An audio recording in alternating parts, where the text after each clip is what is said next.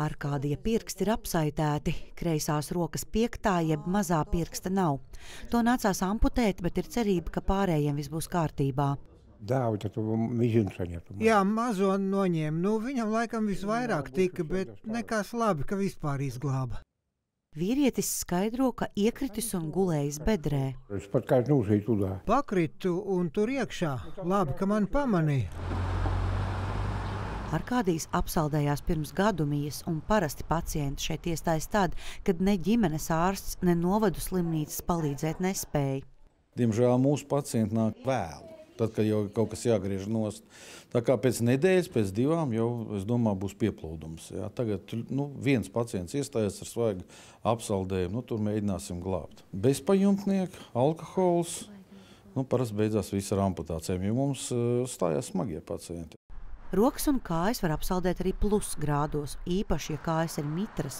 Tāpat ārsts aicina neiet garām nevienam zemē gulošam. Mums ir bijuši gadījumi, kur cilvēkam bija insults, un kurš bija nokritis sniegā. Nu, Visi domājuši, ka alkohols salietojies un pagāja garām, kamēr viens trāpījās, kurš nebija vienaldzīgs un izsauca ātrā palīdzību. Un, nu, diemžēl tur bija jau ļoti dziļi ap, apsaldējumi, izglābām viņu, bet nu, jā, bija jāveic operatīva ārstēšana, ko mēs saucam par amputācijām. Par šiem mīnus 16, mīnus 20, tas ir atsevišķs stāsts. Laikam nav jābūt ilgam, lai nu, atrašanās šajos mīnusos, lai dabūtu apsaldējumu. Plus vēl hroniskās saslimšanas arī veicina, ka ir apasiņošana traucēta un, un, un, un jušanas traucējumi. Jā, tā kā tas viss kopā Karstā ūdenī nosaldētās rokas un kājas likt nedrīkst. Vispirms pirkstus silda remdenā ūdenī, kuram pamazām pievieno karstāku, līdz sasniegti 30-40 grādi. Tāda parasti ir siltas vānas temperatūra. Tumši pirkstu gali signalizē, ka steigšus nepieciešama ārstēšana. Sala rezultātā trombe veidojas asinsvados, ja, un tāpēc netiek apasiņot un audi atmirst. Tur tā problēma ir.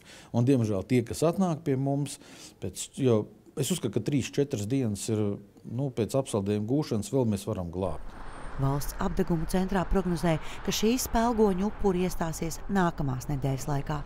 Aikīns Jānis Goldbergs, Latvijas televīzija.